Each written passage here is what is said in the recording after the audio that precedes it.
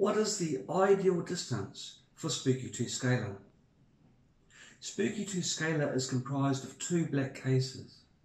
One is called a transmitter and the other a receiver.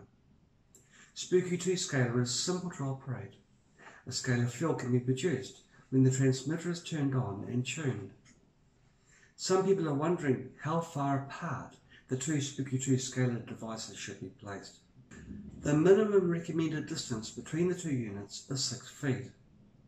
Try to keep at least 2 feet away from the transmitter and 1 foot away from the receiver. When you do a biofeedback scan, try to keep the two units close together so that the scan results are not affected by other items which may be entering the scalar field. There is theoretically no limit to the maximum distance between the two units.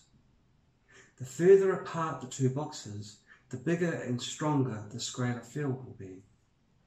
However, more items will be within the field, reducing the strength.